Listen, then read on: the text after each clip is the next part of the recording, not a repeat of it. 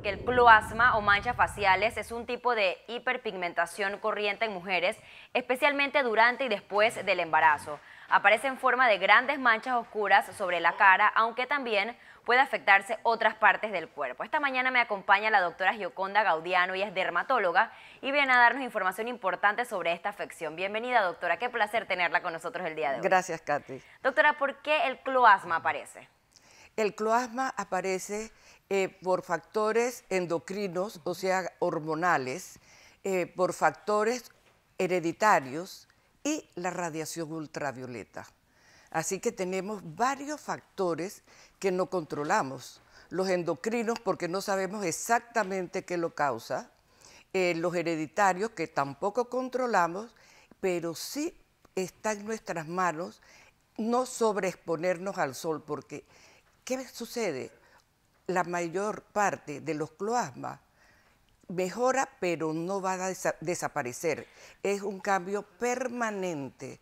Así que todas las medidas que tome eh, las mujeres y los hombres que lo padecen van a tener que ser a largo, largo plazo. Y eso es algo muy importante que la persona tiene que realizar. Doctora, antes de hablar de los tipos de cloasma que existen, que si no me equivoco son tres tipos de cloasma, quisiera preguntarle cómo podemos identificar si que tenemos un cloasma en alguna parte del cuerpo. ¿Qué color tiene? Si causa picazón.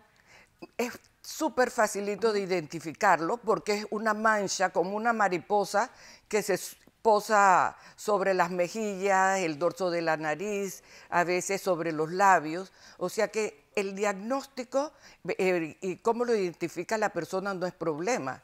Y te voy a decir, Katy, que en una gira que hice a un pueblito pequeño de Chorrera arriba en el campo, porque uno le dice, mira, el cloasma es súper común, es una de las consultas bien frecuentes, y que afecta psicológicamente a las personas. Claro, porque es una mancha que tienes en el rostro que te la estás viendo continuamente. Eso. Y, causa inseguridad probablemente. Pero uno cree que va a ser de personas educadas, sofisticadas, ¿no? Y en esta gira tuve dos consultas eh, mayormente.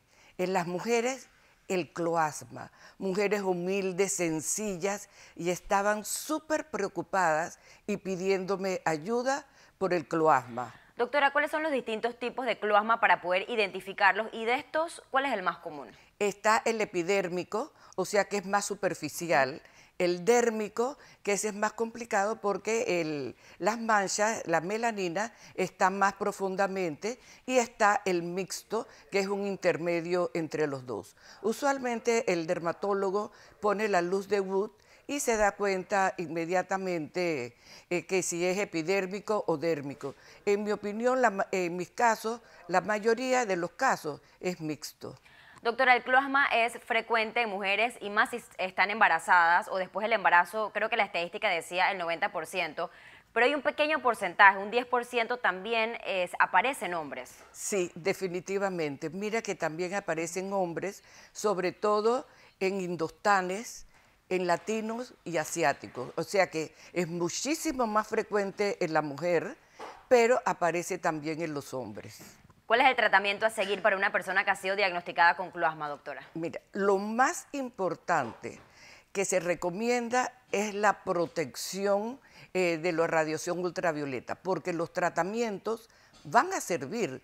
Todas las cremas de pigmentantes, los tratamientos, ayudan enormemente, pero se mejora, se aclarea la mancha, pero solo salen un ratito al sol y plac. ¿Y el estrés lo podría activar? ¿El estrés eh, de alguna manera puede activar el cloasma o no, tiene nada que ver? No, el estrés no, eh, no lo activa. Lo que lo activa es la radiación ultravioleta y esa es que debemos insistir en la protección en todo momento. Bien, me voy a quedar con ese mensaje. Gracias a la doctora Gioconda Gaudiano por hablarnos del cloasma. Importante también estas recomendaciones que nos brindó en el día de hoy.